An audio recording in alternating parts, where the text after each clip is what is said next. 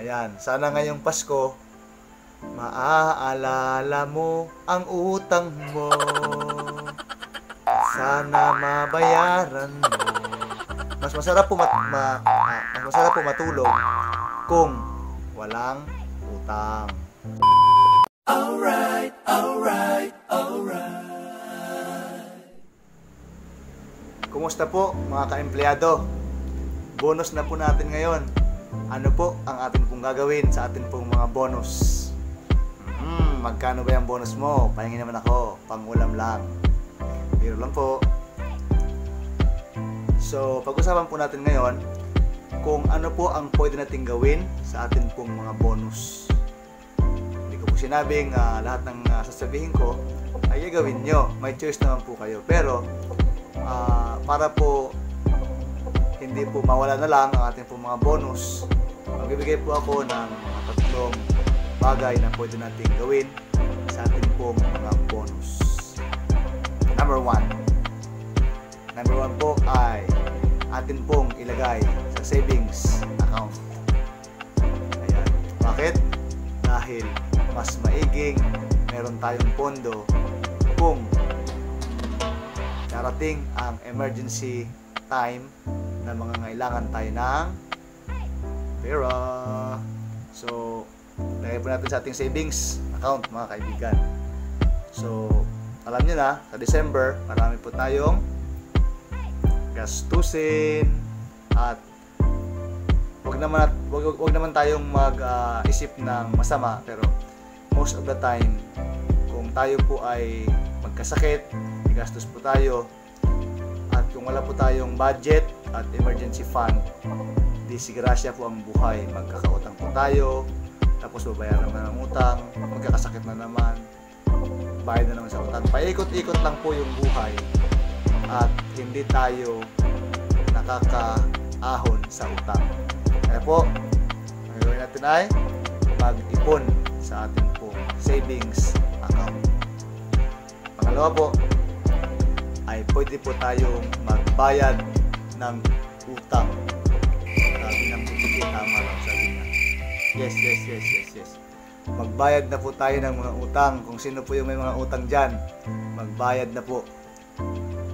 Masakit po sa damdamin doon sa mga nagpapautang na ang isang pinautang na kaibigan ay hindi nagbabayad.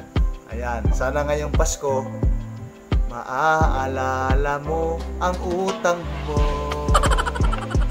Sana mabayaran mo.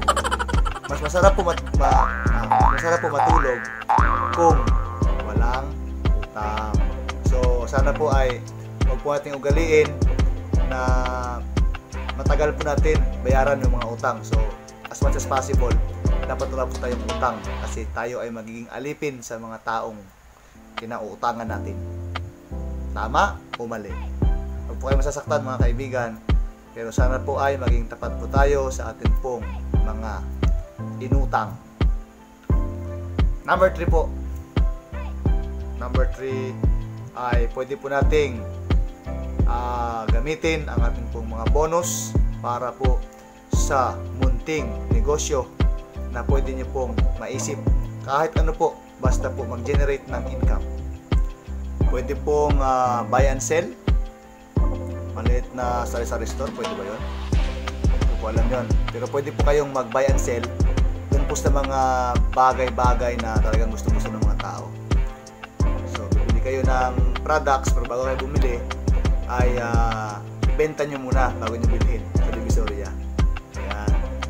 So, pwede rin naman po kayong mag um, invest doon sa mga ah, grupo na or mga company na nag-offer ng interest per month, ano? Mag-ingat lang po kayo mga kaibigan. Baka po kayo ay hindi makabawi sa inyong investment. So, alam niyo na, baka po tayo ay malugi. So, pag-isipan po ng mabuti atin pong mga bonus kasi po ang atin pong bonus ay dun sa mga private ah, sector ay parang birthday, isang beses lang sa isang taon. Yun naman po sa mga empleyado sa gobyerno, dalawang beses lang po sa isang taon. Kaya atin pong isipin mabuti kung paano po natin gagastusin. Ayan po. So, may naisip na ba kayo kung ano gagawin nyo? Bahala na po kayo doon mga kaibigan. Basta po, nagbibigay lang po ako ng tips para po tayo ay hindi gumastos ng wala po sa plano.